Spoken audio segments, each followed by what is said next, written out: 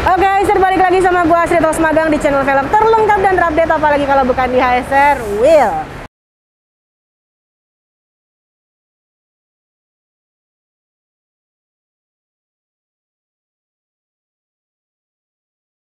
Kali ini gue lagi ada di salah satu dealer resminya HSR di daerah Meruya, Jakarta Barat. Yang alamatnya ada di bawah. Kita lagi ada di Autostar. Oke, langsung datang aja ke sini. Selain itu ini sebelahnya juga ada KJS ya, ini toko second yang tergabung juga di bursa velg second. Tapi kita sekarang mau bahasnya ada satu mobil, ada Fortuner. Dia pakai mix 10. Tadi datang, ternyata udah ngehubungin sebelumnya.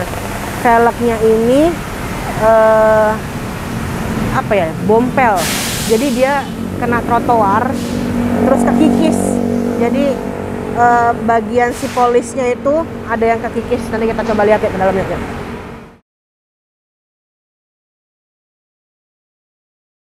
Oke ini ada Fortuner. Yang dipakein mid 10 nih pakai Omicron AT ukurannya 265 50 ring 20 jadi ini velg depannya itu ada yang grepes banyak banget tuh grepesnya ini kalau di repair kayak gini berapa lama be biasanya be? Dua jam. Dua jam. Itu diapain biasanya? Itu dipikir sama diangkat halus. Oh, oke. Ntar sekalian kita lihat kali ya proses balikinnya kayak gimana nih. Cuma bisa sampai parah kayak gini nih kena trotoarnya heboh banget berarti ini. Kenapa? Trotoar. Tol ya ini sampai kekikis begitu ah, panas lagi. Panas oke oke. Nanti kita lihat deh kalau udah di, eh, dicabut ya. Bentar bentar ada ini. Oke. Ini lagi mau ganti ban juga. Apa Xenia tuh ya sebelah ya? Eh Mobilio ya sebelah ya? Lagi ada yang ganti ban juga di sebelah. Pokoknya langsung datang aja. Di sini juga ada spuringnya. Kalau misalnya kalian mau spuring bisa langsung datang aja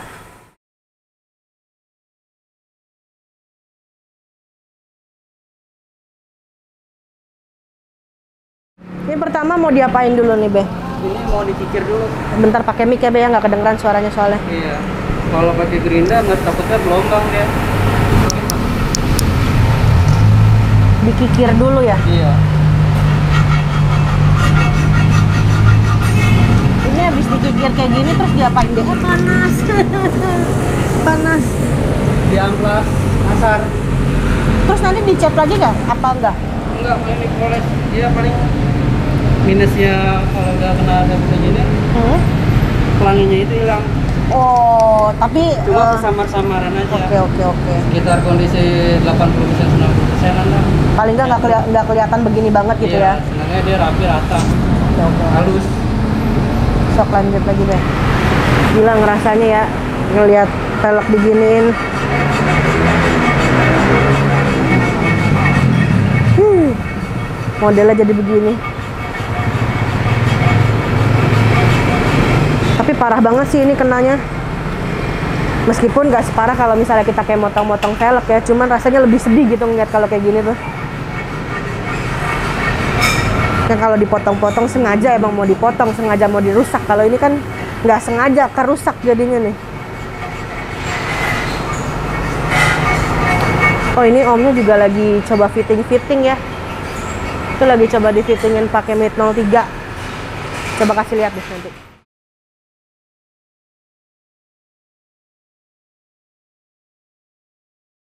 Oke, ini mobilnya udah dicobain pakai mid 03 sama tadi ya ban bawaannya Omicron AT. Sama-sama keker sih kelihatannya sih.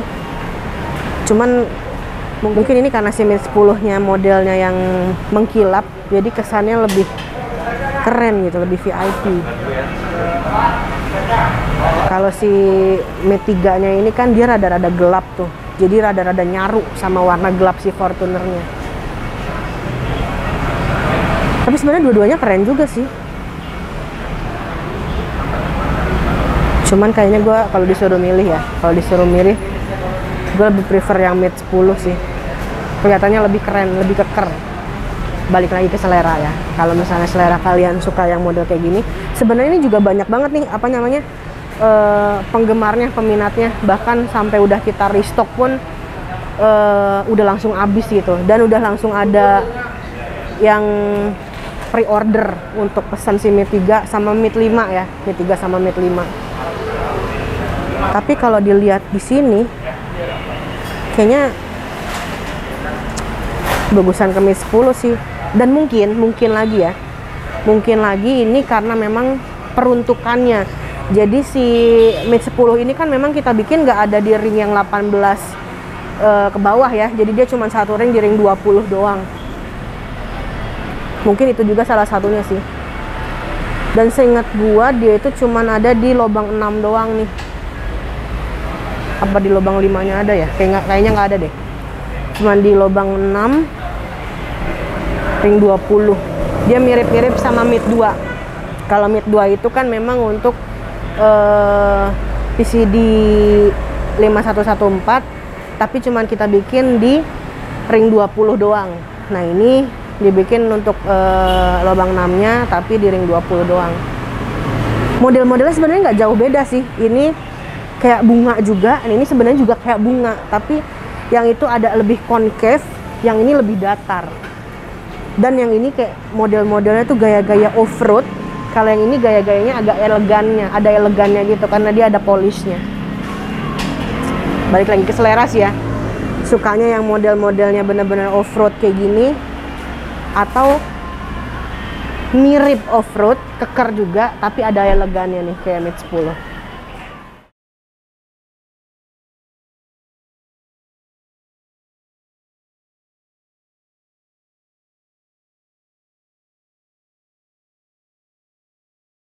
Saya mau nanya dong, Ya. ini kalau di sini kisaran nge-repair kayak gini berapaan deh? Ini kalau buat pelanggan di toko kami ini kita jasanya itu tidak dipatokin, itu kebijaksanaan dari customer aja. Oh ini after service-nya gitu ya, Iya, maksudnya benar. free service. Free service. Tapi nggak semua kayak gini kan, maksudnya enggak. ini karena cuman grepes dikit doang gitu. Iya. Kalau misalnya nih Iya. ada bompel, terus eh, harus ditambah gitu misalnya, Oh, itu kena biaya. kisarannya berapa kalau Itu gitu? sekitar 250 Itu pengerjaannya? 3 jam, Mas. Oh bisa ditunggu berarti ya? Bisa ditunggu. Misalnya lagi main ke sini eh, benerin velg ya kita tinggal dulu sebentar ke mana gitu, habis itu bisa balik lagi di hari yang sama berarti ya? Bisa. Kalau misalnya eh, velgnya grepes terus peyang juga mau di repair bisa juga? Bisa. Berapa lama tuh pengerjaannya? Itu kurang lebih 3 jam antara 4 jam kalau grepe sama peyang. Grepes sama peyang. Iya. Harganya Kalau grepe sama peyang itu bedanya 100 ribu aja. anggaplah misalnya saya ada yang peyang satu, yang grepesnya dua velg. Nah, Jadi berapa? Hitungan globalnya 350 aja. Untuk dua piece itu ya? Iya. Termasuk murah juga hitungannya ya. Cuman kalau untuk eh, ngepolish kayak gini nih, bisa untuk semua warna. Misal, misalnya velg saya tadinya itu warnanya eh, hitam dop. Hitam dop dibikin polis. Bukan, maksudnya mau dibalikin kayak gitu lagi gitu. Sekalian Oh, ada repaintnya. Itu nambah repaint lagi berarti? Iya. Oh jadi nggak termasuk ke yang pengecatan. oh, Nggak oke. termasuk pengecatan. Kalau kayak gitu berapa? Kalau itu total bisa 400 an.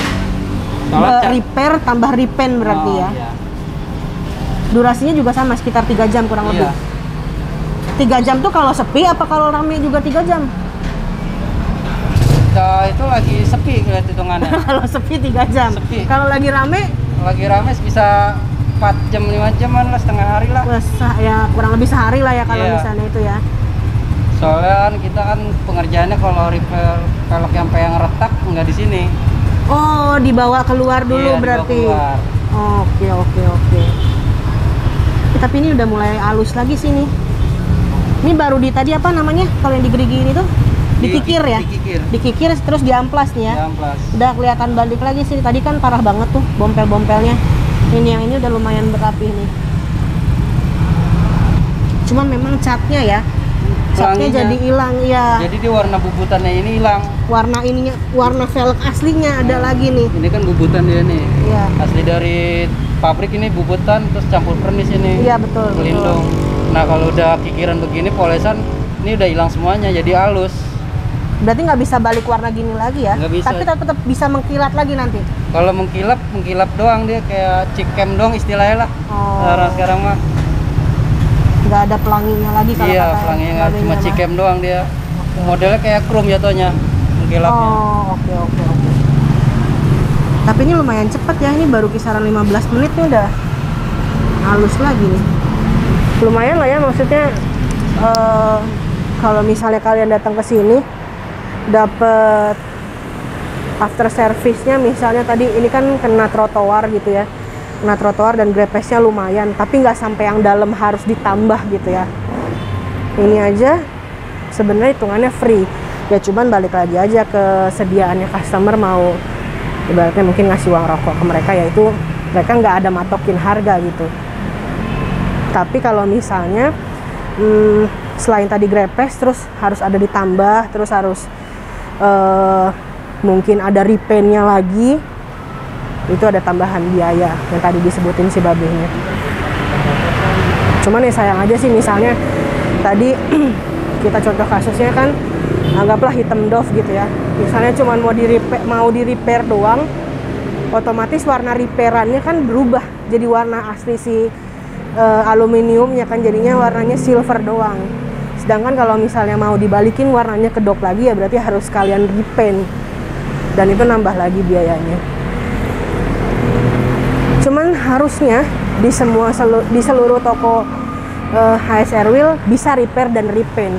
Cuman memang tergantung eh, kebijakan tiap toko aja seperti apa. Ini udah jadi nih. Ini udah selesai terus habis ini diapain lagi? Kalau udah pengerjaan finishing kelar ini tinggal dipoles pakai otosol, digosok. Oke oke oke oke. Jadi biar timbul lagi mengkilapnya. Cuma dia pelanginya aja hilang. Iya ya ini jadi tem tompel. Kalau nggak ditegesin mah sebenarnya nggak kelihatan sih. Iya Kalau nggak 85 persen lah kelihatan dari mata. Ya. Cuma kalau ditegesin ya hilang. Halus ya halus ya. Ya, kalau tadi kan hasil sebelum diginiin kan eh bukan hasil. Kalau tadi kan sebelum di apa namanya dikikir terus dipoles kan banyak banget tuh. Kayak apa ya di sini ada nggak ya yang model kena grepes grepes coba. mana? Ini nih kan tadi kurang lebih mirip-mirip kayak gini nih. Ya kan? Terus sekarang udah jadi rapi kayak gitu. Dan kalau misalnya ini kan warnanya dop nih, terus mau dirapihin bisa juga kan tadi kata si Babe sebenarnya. Cuman warnanya nggak balik lagi ke hitam. Jadinya warnanya ya udah si aluminium bawaannya doang gitu. Kalau mau dibalikin ke sini lagi ya berarti harus di repaint lagi.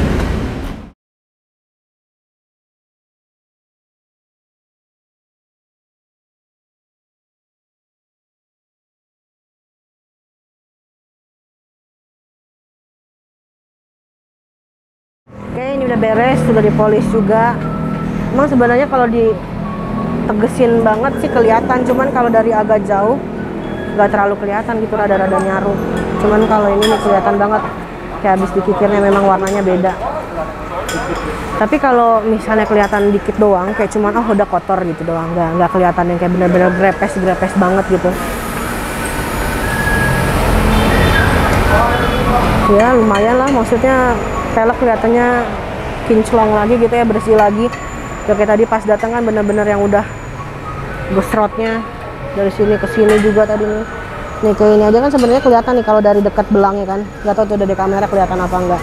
Cuman kalau dari dekat nih kelihatan banget nih. Ini ada pelanginya yang ini enggak. Yang ini bener-bener langsung kasih bahan peleknya. Langsung aluminiumnya. Dipolis doang. Tuh ini cuma kotor gitu doang biasa. Ini tadi gue udah lihat kisaran 20 menitan sih. Nggak nyampe nggak nyampe dua jam. Tadi kan di awal perkiraannya sampai dua jam kan. Ternyata enggak lagi coba dicopot bannya. Kan ini tadi pakai ban bawaannya untuk fittingnya ya. Jadi seben wow. Sebenarnya termasuk yang cepat sih pengerjaannya kurang lebih 20 menitan. Ya mungkin karena eh, yang dikerjanya tadi yang ngerjainnya langsung keroyokan langsung dua orang kan